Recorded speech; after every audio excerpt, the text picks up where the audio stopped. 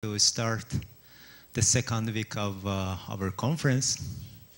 My name is, uh, well, let's start from uh, the right. Uh, Felipe Voloch. I am Hossein Movasati, Director of IMPA, uh, Professor Camacho. Julio, I think you, you know already, and uh, Emmanuel Carneiro. So we are very happy to have uh, all of you at IMPA. Most of uh, the people that I know are for the first time in Rio. I hope you enjoy the conference and also the city Rio.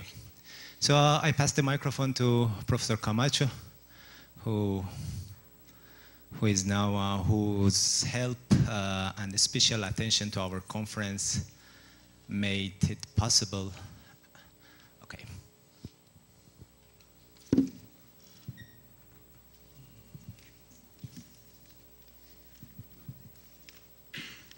Thank you very much, Hossein. Uh, really, it's a pleasure to welcome all participants in the International Conference in Number Theory and Physics.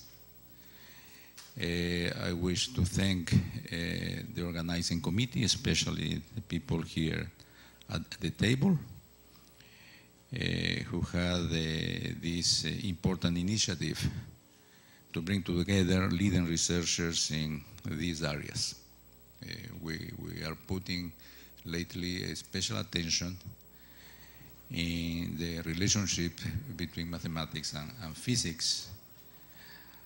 And uh, since some of you uh, are here for the first time, I wish to take this opportunity to make uh, some brief remarks concerning mathematics at IMPA and in Brazil. Uh, at this moment, we are, we are presently living a, a process of, of, expansion of the practice of mathematics in, in Brazil. Uh, during the last 15 years, we have witnessed a considerable growth of the mathematical activities, especially here at IMPA. The number of researchers in the scientific staff of IMPA has increased uh, by 50% in the last 10 years. Uh, we are presently 50 researchers, and this number is programmed to, to grow. Uh, at the end of this year, for instance, uh, we will open new tenure track positions, and we wish to encourage uh, young mathematicians from all over the world to apply especially those concerned with the interactions between mathematics and physics. So please pass on the words. At the same time, a, a, good measure of our activity is given by the number of scientific visits, which more than eh, tripled during the last 10 years. Right now, IMPA receives around 700 a month a year of visiting researchers, half of them in postdoctoral positions held by young mathematicians. This is equivalent to more than doubling the number of members in our faculty. Uh, we recognize, however, that the main problem of Brazilian mathematics nowadays is that it is still lacking in diversity the number of areas of mathematics needs to be enlarged in the near future, and also the number of students. Along this direction, you probably have heard that since 10 years ago, we organized a large-scale Olympiad of mathematics for the students of public schools in Brazil. Each year, this activity involves the participation of 18 million of students approximately 10% of the Brazilian population. This has proven to be an excellent source of talented people for mathematics and certainly will be very important for Brazilian mathematics in the future. On the other hand, uh, recently IMPA received a very important donation of a piece of land contiguous to IMPA with an area much bigger than that of the present location. This will allow us to increase the number of students to whom we will be able to offer a residence and to increase the number of research visitors as well. The organization of this expansion is already in progress. Well, to finish, I, would like to thank the organizers again for this conference, renew our warm welcome to all of you, wishing a fruitful meeting and a nice stay at IMPA and in Rio de Janeiro. Thank you.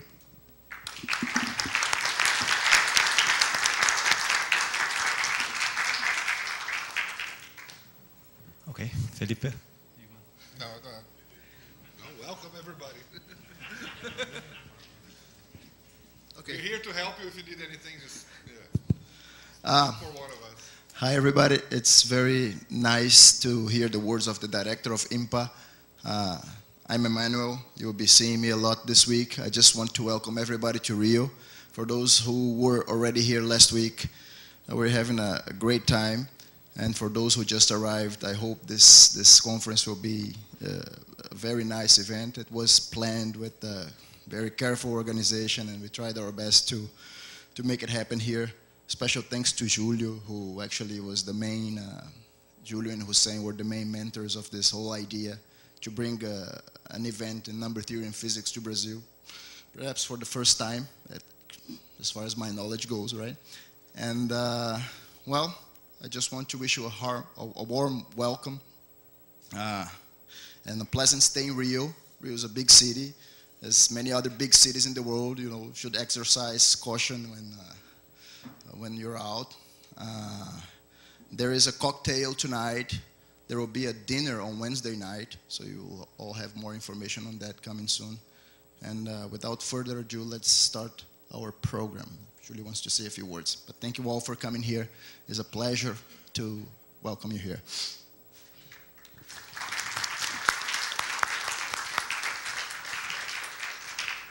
Yeah, it's a great pleasure to have all of you here. It's, I welcome all of you. Uh, I think this conference, the main idea was to try, it's an attempt to increase the number theory activity in, in Brazil. Uh, number theory is so such important area, and I think there is some lack of number theory in Brazil. And so my main idea was to reunite these people for we talk about number theory and physics, and I hope all of you can enjoy this week.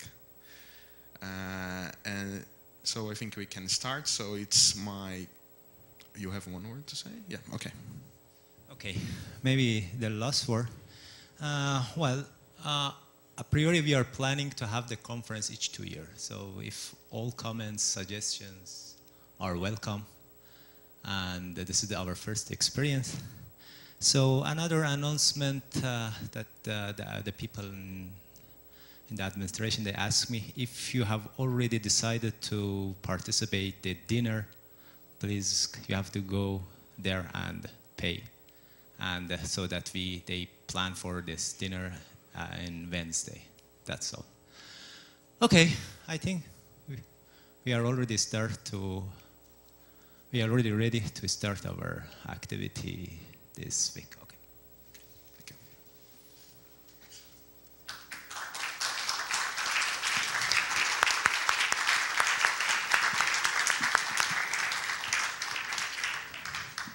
So it's my great pleasure to introduce Professor Sir Michael Berry and he will be giving the opening lecture, and he will be speaking about seeing and hearing the Riemann zeros.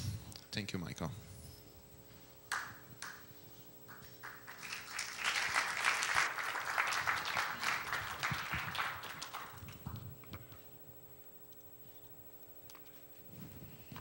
Well, I'm delighted to be uh, at this meeting. It's uh, very kind of the organizers, Julio and Pedro and others who I, am afraid I don't know, and also the director for hosting us. I know it's not the beginning of this activity. You had your school last week, but it's the first talk of the uh, meeting. I know that uh, there are people here who are not experts on the Riemann zeta function, so I'm not ashamed at giving a short introduction which uh, will be very well known to those few experts who are here. And then I want to go into a rather unusual and I should say rather light-hearted direction. My excuse being that uh, progress in understanding the zeta function is not rapid. Advances come only every rather large number of years, and so I can be, I hope, forgiven for not uh, presenting some new insights into zeta itself. I would rather call them sidelights.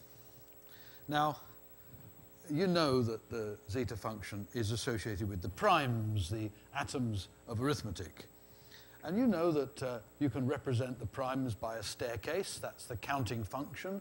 The number of uh, uh, uh, uh primes less than x. And this rises like a rather disorderly staircase. If you zoom out and look on a much larger scale, then uh, of course, you see a beautiful smooth curve, one of the miracles of arithmetic. Roughly speaking, the number grows as x on log x. The primes get slowly thinner as you go higher. But of course, the fluctuations are still there if you zoom in. And uh, I uh, uh, will be concerned with those. Here are the fluctuations. You subtract the smooth hillside from the staircase, and you get this, what I'm calling jaggedy music, a term I'll come back to, uh, uh, of the primes. The structure of this staircase was understood in incredibly beautiful work by Riemann uh, in the 1850s, and you can summarize it in a formula. You can write the formula in a number of different ways, and the simplest version isn't the counting function of the primes, but something closely related. It's the uh, counting function where you increase by log p uh, at every um, power of a prime. So this is a function of x, sum over log p, the prime powers less than x. And here's an exact formula for it. And it's got two parts. There's a smooth part, which is roughly x. I mean, uh, very quickly it, it, it's x. So that this hillside is a uniform hillside, this, when you multiply by the logarithms. Uh, and then there's a fluctuating part, which is a series of oscillations, of which the frequencies, here they are, are the heights of the Riemann zeros. So that's where the Riemann zeros appear, and that was his great discovery. Um, you can think of these Riemann zeros as the harmonies in the music of the primes. Um, here's the staircase again, and you can write it as the sum of a hillside and a series of harmonics. Because the variable is log x, these harmonics start out uh, uh, rapid and then get slower, but still they are harmonics. And this has astonished many people, including notably Enrico Bombieri, who wrote, To me, that the distribution of prime numbers can be so accurately represented in a harmonic analysis is absolutely amazing and incredibly beautiful. It tells of an arcane music and a secret harmony composed by the prime numbers. More about the music later. So here we are again, these frequencies of the prime harmonics, and as I said, they're the zeros of the Riemann zeta function. Here is Riemann at different stages of his unfortunately all too short life. Well, you know, all of you, what the Riemann zeta function is. It's a function of a complex variable s, lives in a complex plane. It can be written by its Euler product or its Dirichlet series where these converge and by analytic continuation elsewhere. Um, and in particular, we're interested in the critical strip. There it is, with uh, real parts between 0 and 1, and uh, in particular the critical line halfway along, where the Riemann hypothesis conjectures that the complex zeros lie, all of them. Okay, um, there they are. And uh, I do not know if I've got the current numbers right. I learned uh, the latest a little while ago from Brian Conrey. It's known that 41.2%, uh, I think, is that right, Brian? You told me, now lie on the line. And the first 10 trillion are known to do so.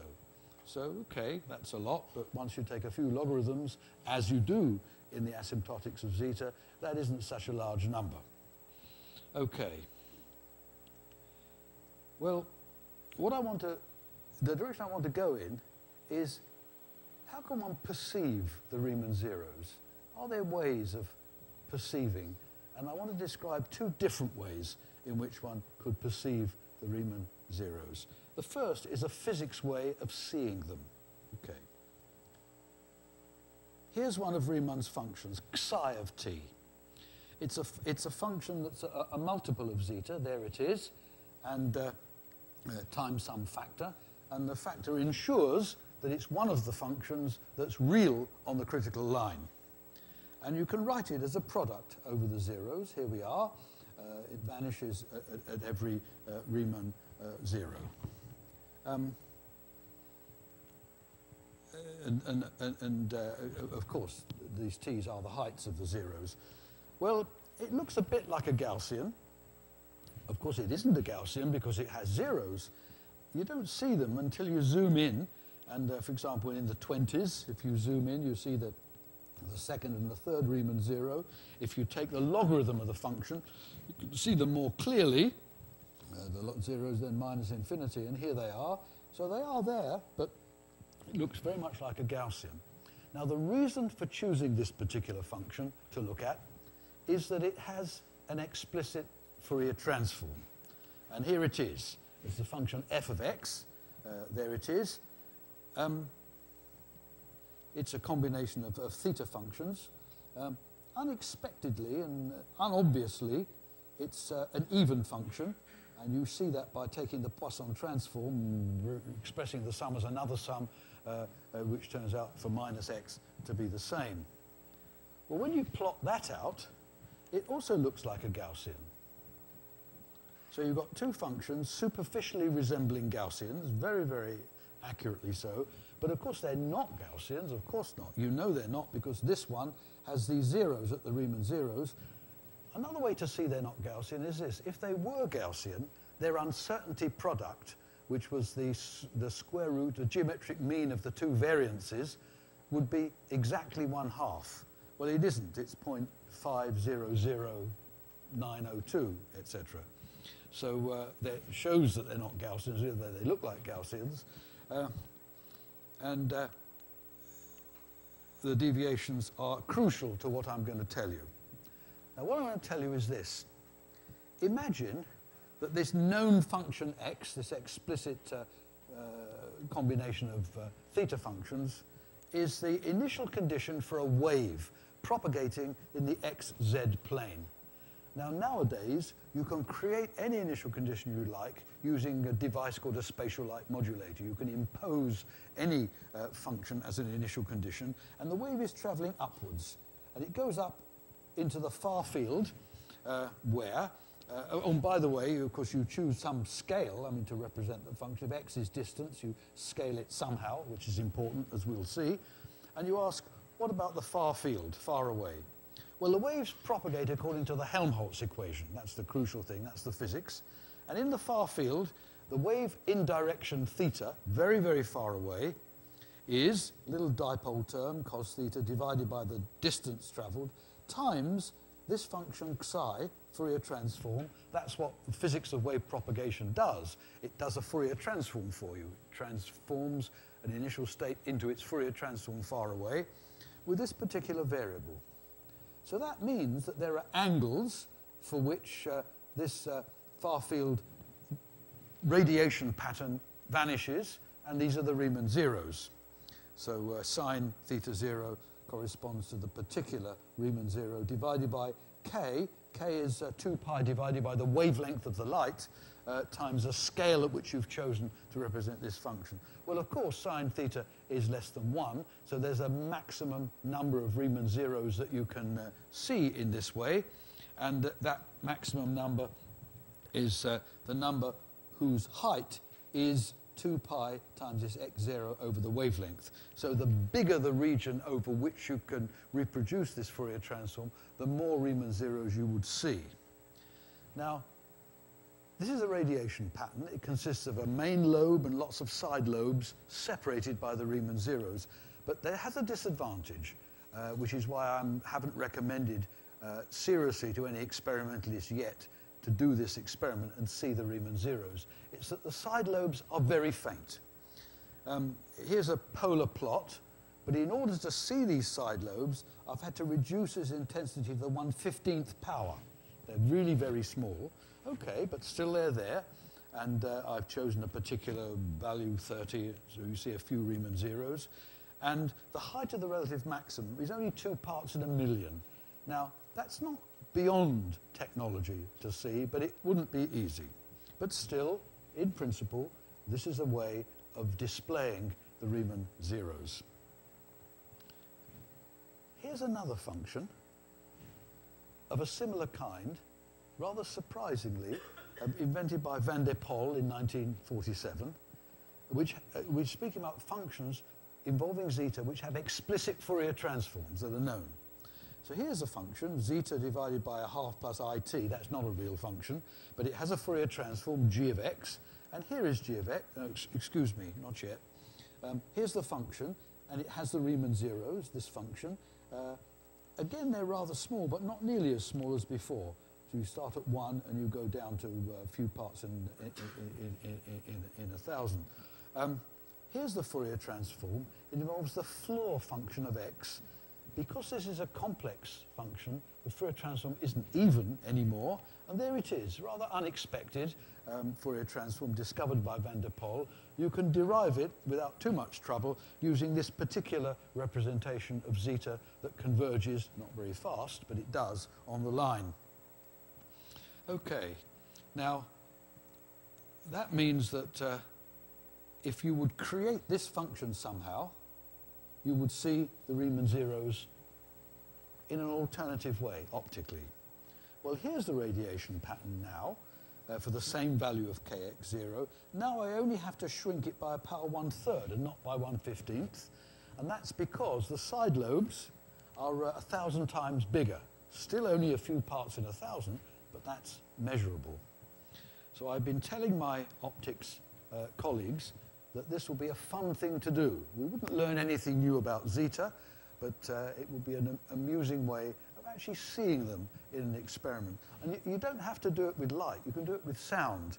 I don't know if any of you have ever experienced this, but uh, if you take, I used to do it um, when I used to teach uh, waves. If you take a loudspeaker about this big and uh, you play through the loudspeaker without any housing at all a note which has uh, uh, for the, which the wavelength is about this big or smaller.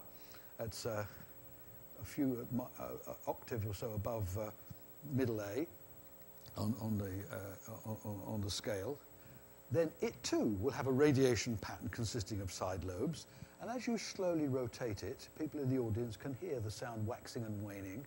Well, if you could do that instead of a loud, with a loudspeaker, with uh, this rather peculiar shape, then uh, similarly uh, you would hear the Riemann zeros uh, in an experiment. And this is, as I say, not been done.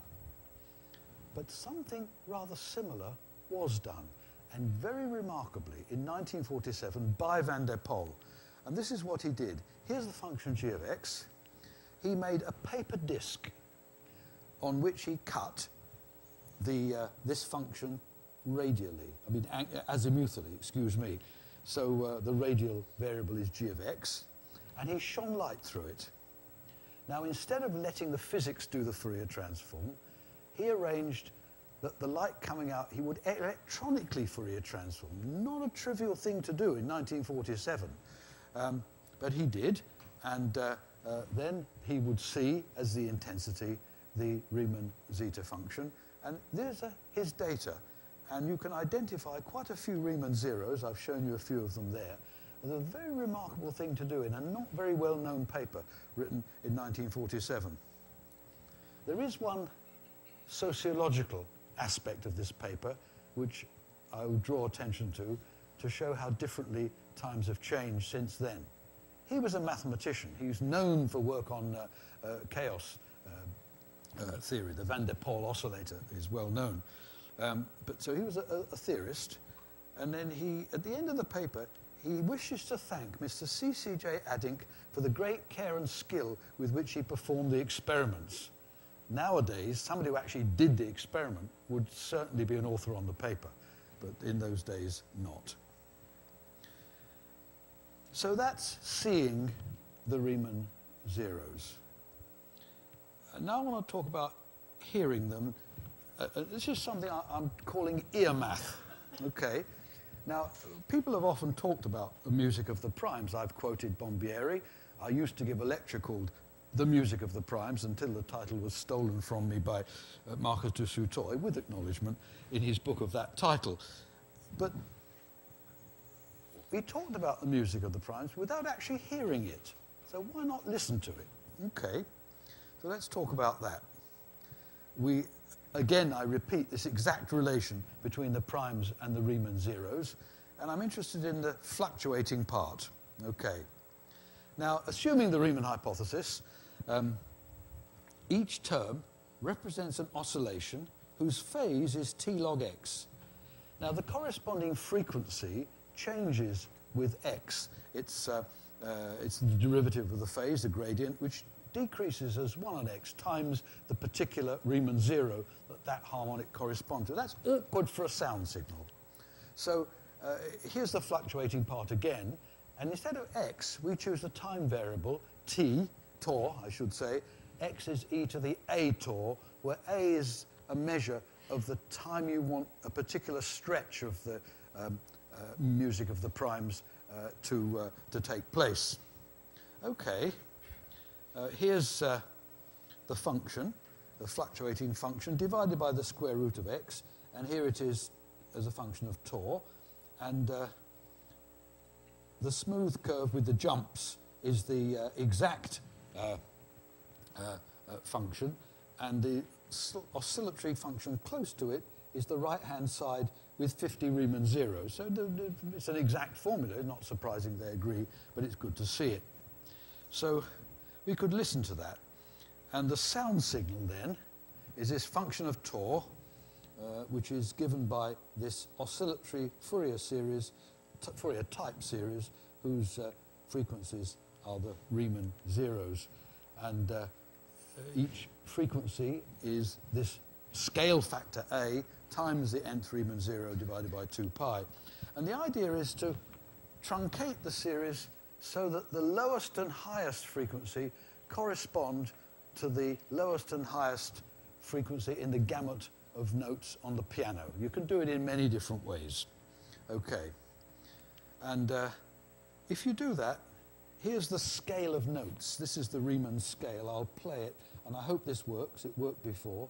Uh, in the beginning, depending on the bass reproduction, you might not hear it, but then you soon will. I'm going to go up and down. This is the scale of which the music of the primes is composed.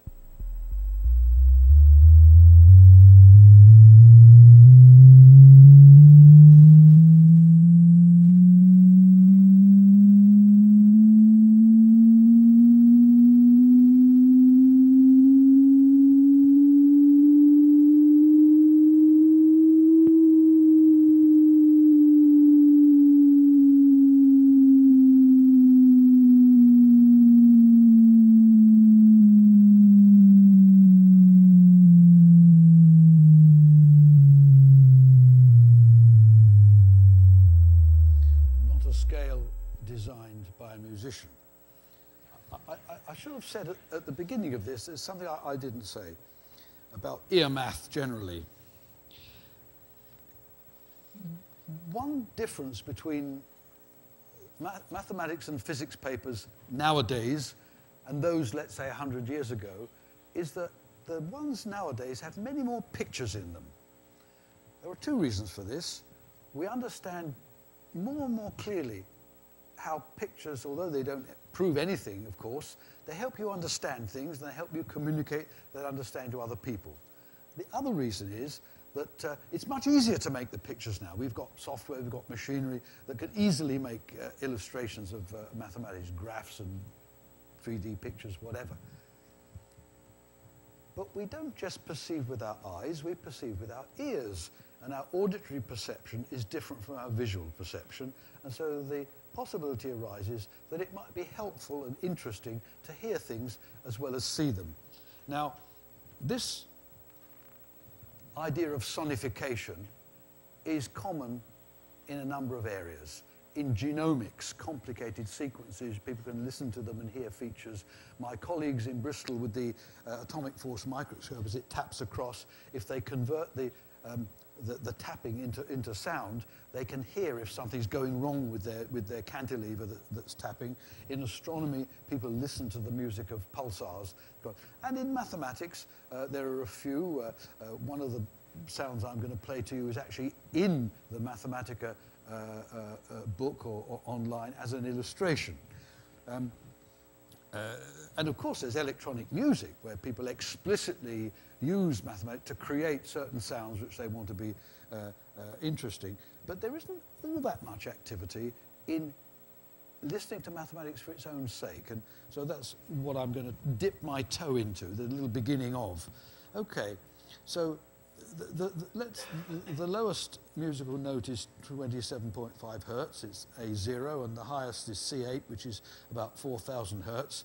And if you want that to last 10 seconds, I think it's 10 seconds, then you, you can fix this scale and it mean that you include about uh, uh, uh, 1600 uh, Riemann uh, uh, zeros.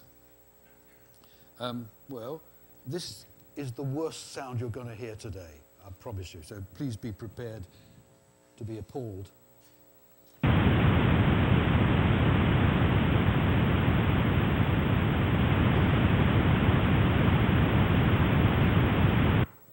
Now, why does it sound like that?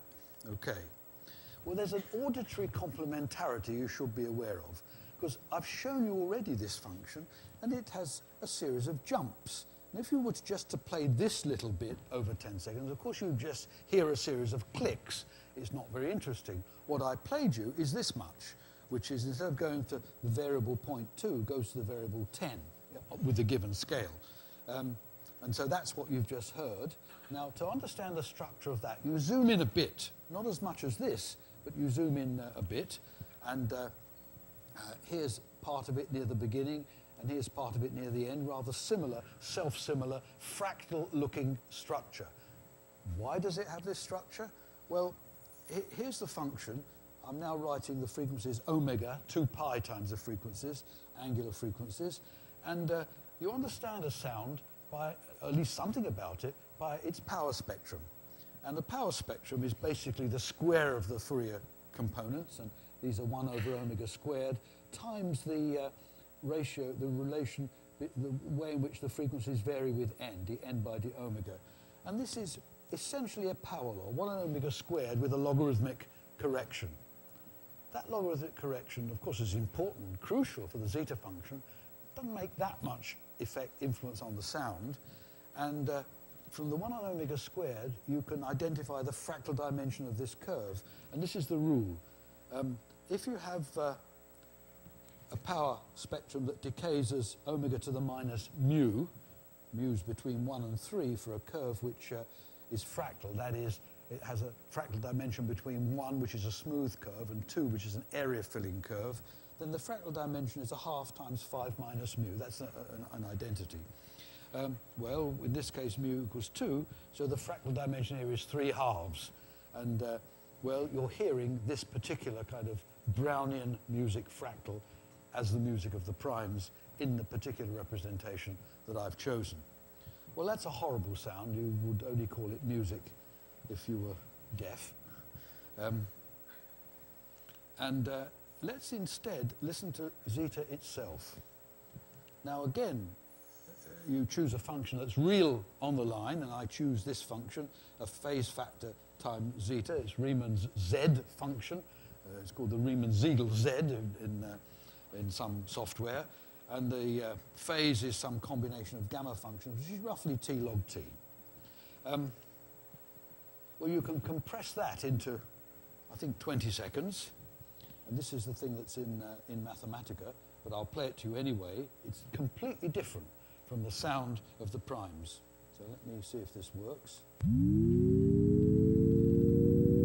That's why I call it the siren song. It sounds like a siren.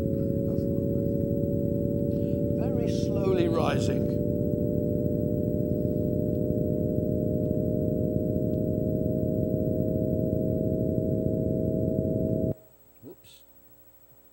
Very slowly. But if you compress it, compress more of it, so it's a higher sound, it's like the banshee screaming of a witch.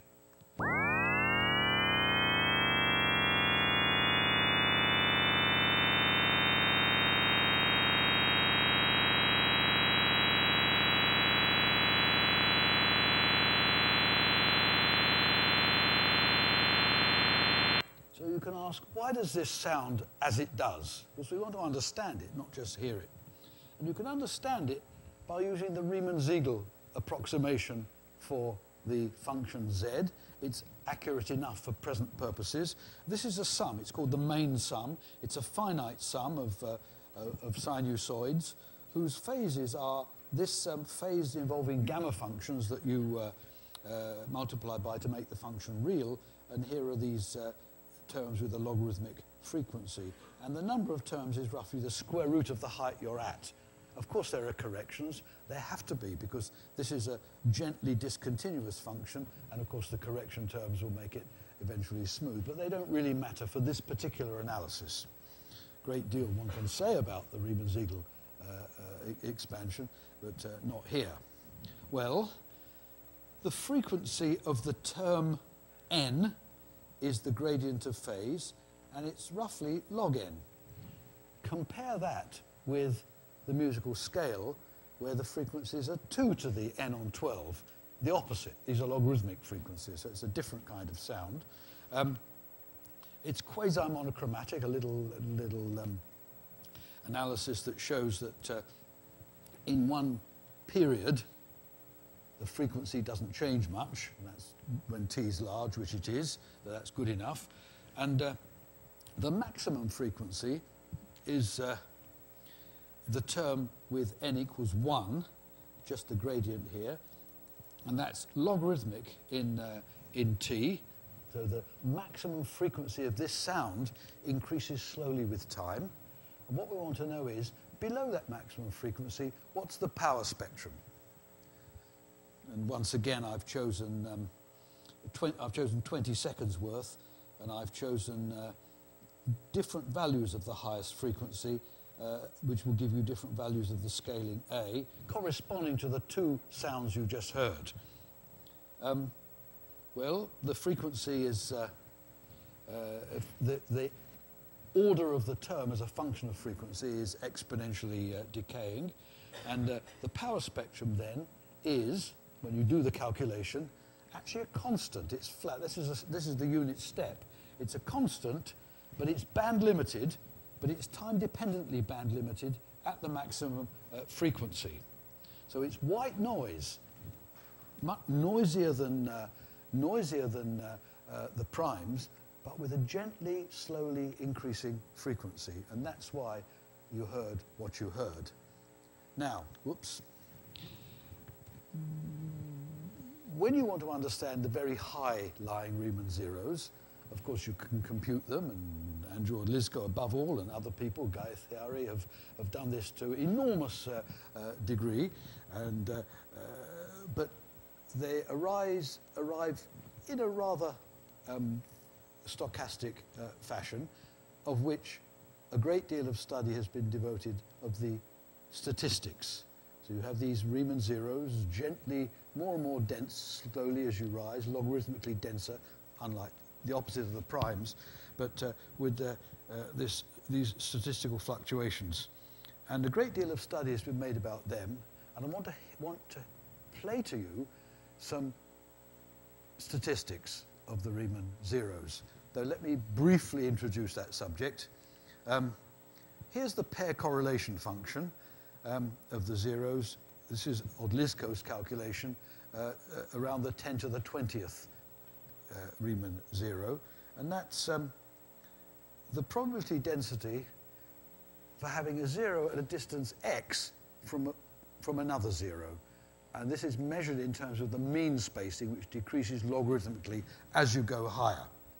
Okay, and it fits very well to, uh, as many of you know, it's a celebrated uh, uh, identification, 1 minus sine x over x all squared, which was um, conjectured by Montgomery in 1973.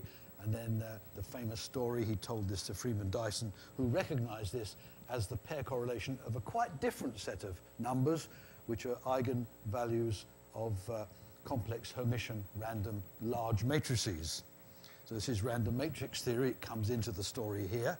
Um, uh, these are matrices, um, complex Hermitian matrices, whose Gauss distributed elements statistically invariant under unitary transformation, developed in great detail for nuclear physics by physicists, but uh, with the same correlation and applying uh, to the Riemann zeros as we now understand rather well, and in particular, the distribution of spacings between neighboring Riemann zeros is a perfect fit to this ensemble of that comes from random matrix theory.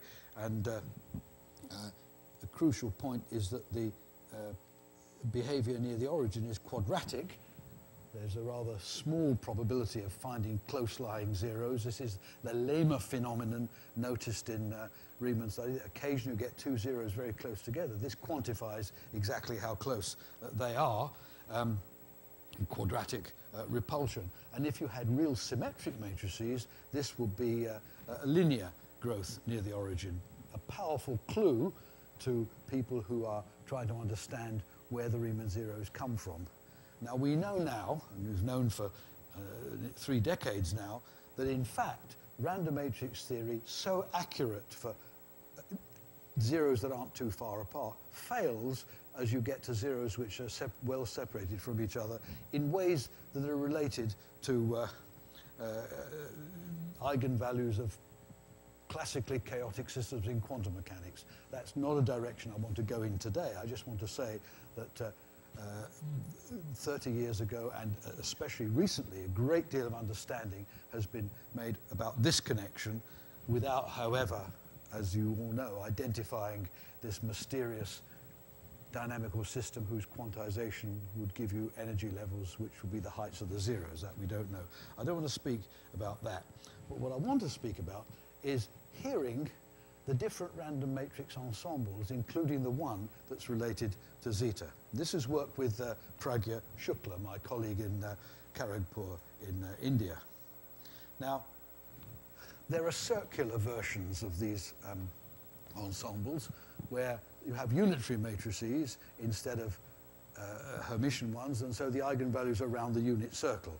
So let's talk about those, and an n by n matrix, there are n of them. Now, there are five cases one could contemplate where the fluctuations are increasingly strong. One is kind of trivial. It's a uniform distribution. They all have exactly the same spacing uh, uh, of these uh, uh, eigenvalues or zeros of a function around the unit circle. Then there's a circular symplectic ensemble where there's a randomness, but the repulsion is quartic, so quite a strong repulsion, stopping levels, uh, uh, eigenangles getting close together. The circular unitary ensemble, uh, that's the one which corresponds to the Riemann zeros where the level repulsion or the zero repulsion energy levels, eigenvalues, eigenangles uh, is quartic, uh, quadratic, excuse me. Then the circular orthogonal, orthogonal ensemble where you have real symmetric um, uh, exponentials of i times real symmetric matrices, linear level repulsion, and then uh, the most random is random angles, a Poisson distribution uh, around the unit circle. And we can hear those and hear if we can hear the difference between them. Now, how might you do that?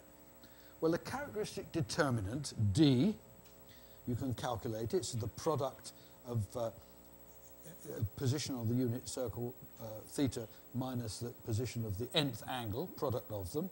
You subtract out a factor and you get this real function which captures the essence, the rest is just a phase factor. And so you could try to play or hear these real functions, um, r of theta. Um, okay, um, that's analogous to the function z for the Riemann zeta function, a function that's real and has real, real zeros. And the angle theta is analogous to the critical line, height z on the t on the critical line. And for a uniform arrangement, uh, this function is simply uh, a cosine function with a frequency of half n. Now, there are lots of different ways of rendering sounds. We are amateurs in this game, actually. And I, one thing you can do is what you've already heard. You can just take the function itself and play it. But there's another thing you can do, which, is, uh, uh, which gives you different uh, auditory insight, and that's to render it as with your radio as a phase modulation of a carrier wave. So you choose some frequency. This is the sound that you play. Choose a frequency and uh, let this function r over a time t around the unit circle once um, uh, be played with, uh, with some uh, modulation strength delta. That tells you how much the phases are going to vary. Uh, you can do that. It turns out, uh, and you can hear the different fluctuation strengths. I could play you that, but actually I'm not going to um, because of time. I want to, a, it turns out that a function of this function R is more convenient, and I want to tell you a little bit about that. So let's, miss, let's pass on. Here we are. It's what we call Tuck's incompressibility function. It's a function q of theta. And here it is. It, it's a function of this function r, this characteristic determinant as you go around. And why choose this? Well, Ernest Tuck had an idea for proving the Riemann hypothesis, which turned out to be wrong. Uh, but still, the function he invented is a useful one. If you look on the critical line, you look slightly off the line and ask, what is the condition that uh, there are no complex zeros infinitesimally close? It's a condition that a certain combination of derivatives is positive. You can easily work out what it is. Um, the modulus must grow uh, as you, quadratically as you go off the line. And, uh, well, that didn't work because it doesn't tell you about even zeros even a little bit farther away, and it, it doesn't hmm. tell you uh, uh, anything about the, the, zetas. But it's an interesting function, and this is the reciprocal of it. It turns out to be more convenient. And if you write r, this function, as the characteristic determinant, do this calculation, then this is the function uh, that you get. Now, it has some nice properties. It's invariant under a rescaling of r. It has zeros between the pairs of the real zeros um, as you go around the circle. At a simple eigenangle, non-degenerate, which most of them are, of course, uh, this function is 1. At an n-fold degenerate uh, eigenangle, the function is n. So for an n by n matrix, that's the largest it can be. And uh, it's obviously positive if all of these angles are real, which in the cases I'm considering they are. I should say that the statistics of this quantity Q are extraordinarily challenging to calculate. Uh, Pragya Shukla and I, when we introduced this function, nothing to do with listening to it, um, uh, calculated many aspects of the rather strange distribution, but we fell short of a complete analytic uh, uh, description. Uh, and still that's not achieved, although Francesco Mezzadri has made some progress in understanding one of the ingredients that one would need to understand the statistics. But this is actually very interesting, and uh, both of the random matrix theory and of the Riemann zeros, and by the way, they do coincide, which is further evidence for the, uh, for the random matrix connection, which we know anyway, but it, there's a different support of it. So, um, oh, and by the way, it, the, the maxima of this function q as a function of theta can never be less than 1. Okay. So interesting structures. And uh, we could listen to it. I've chosen n equals 50. So you're hearing 50 oscillations um, with these sounds. And again, I'm choosing phase modulation. Turns out to be easier to use q squared than q. That's a little detail which doesn't much matter. And uh, for a uniform distribution, which you're going to hear first, these, this is function just sine squared of a half n theta. So here are the pictures of these five cases, and here's the uniform. Now, it's a rather strange sound, but not surprising. Here it is.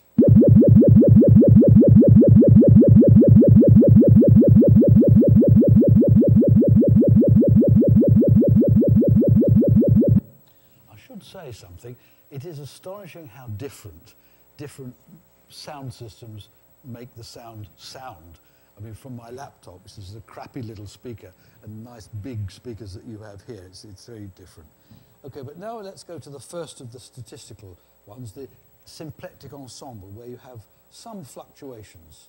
So here is the music of the circular symplectic ensemble. Where are we now?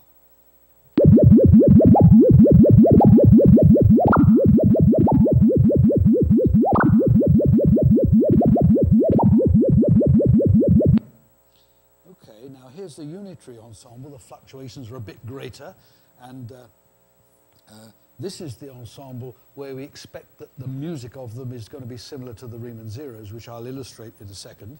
But let's hear this first.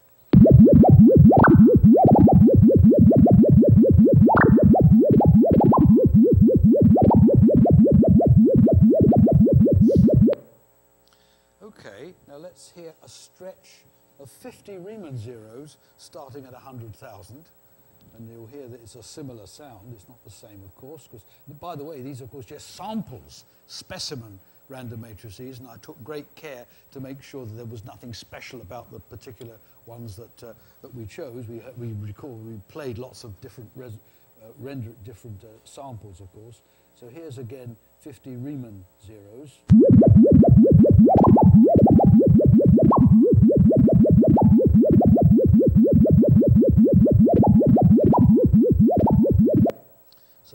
Anybody who could distinguish this from these sample random matrices taken from the unitary ensemble. I should say something.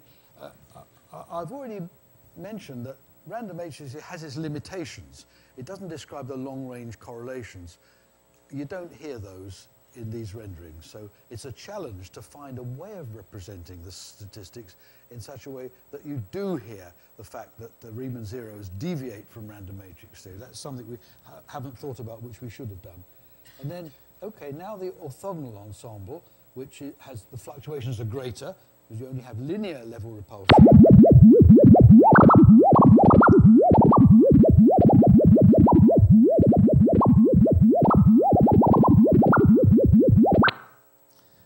Finally, a random distribution where the fluctuations are much greater.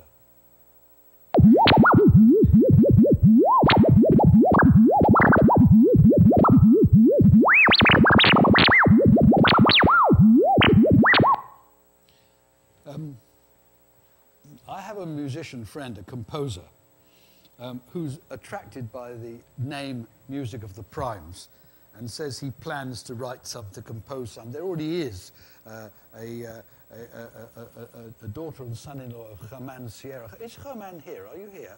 You are. Uh, has already composed a piece called Music of the Primes, but this guy, Edward Cowie, is going to compose another one. He, I think, it's really the sound, the names that attract composers. I don't think this would attract any composer, what you've just heard.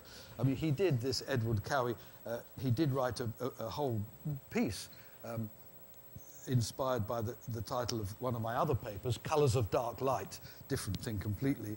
So well, we shall see what comes out of it and how it uh, relates to what uh, Germán's family have produced.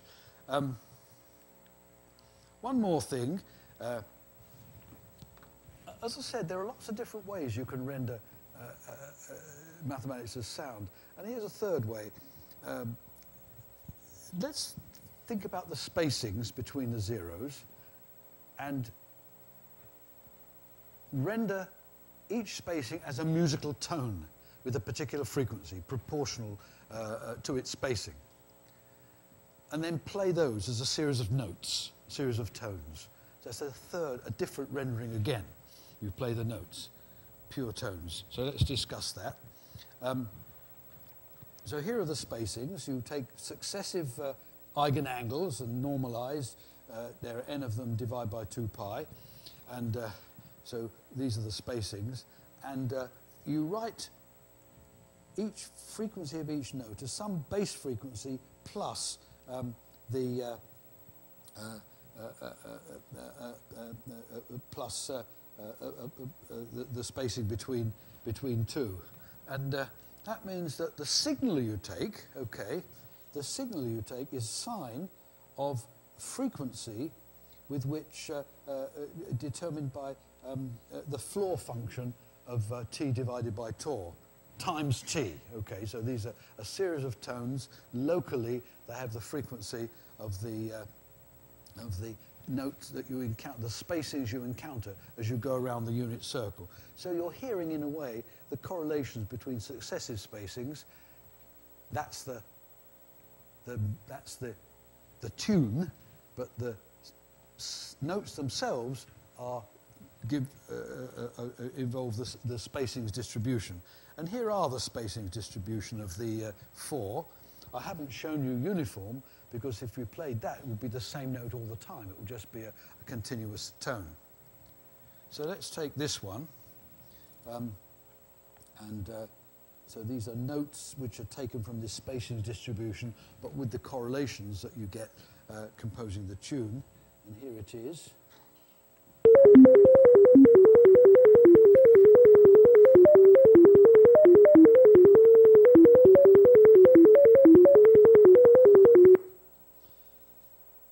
Slightly stronger fluctuations, it's quite hard to hear the difference. These curves look similar, they're not really because of these quartic versus quadratic, but uh, it is, the fluctuations are slightly greater.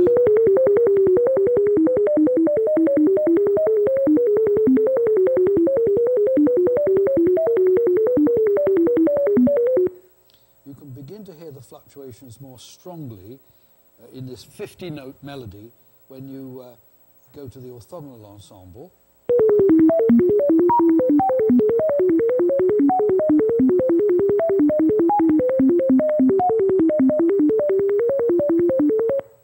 In particular, you hear that there are more higher notes. That's even more true uh, when you get to the uh, Poisson distribution, the last one I'm going to play to you. Here it is.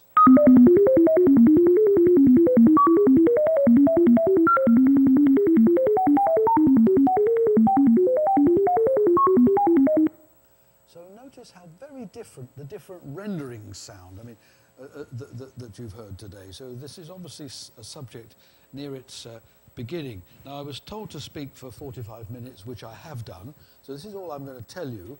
There are three papers uh, that deal with this. Um, the first, the seeing, the Riemann zeros in the radiation patterns, and then uh, one uh, about the listening to the music of the primes, this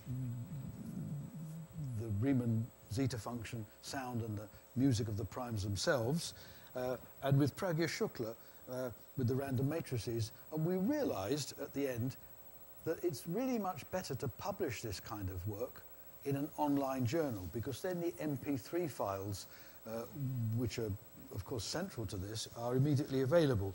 Now with a conventional print journal like this one, the MP3 files are also available, but you have to click in and get to the supplementary information. Uh, but then they're there, also the computer, little computer programs that lead to their generation. Now,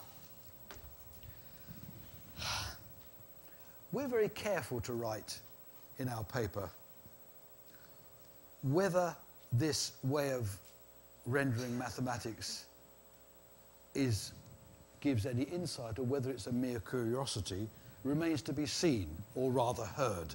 That's what we wrote. I'm slightly pessimistic, but on the other hand, you know, all possible ways of representing mathematics should be examined. And as I said, we're amateurs in this game. There are many other ways of rendering sounds which people more knowledgeable than us uh, could implement, and especially many other features of these functions uh, which uh, uh could be explored. And in particular, as I said, um, with the zeta function, uh, ways of representing its statistics as sounds in such a way that you can hear the difference between the Riemann zeros and the random matrix theory, which we know at uh, long range, this is long range correlations in the melodies, uh, would, uh, uh would indicate. So nothing really new about zeta. I'm sorry about that, but as I said, progress is very slow. But I thank you very much for your attention.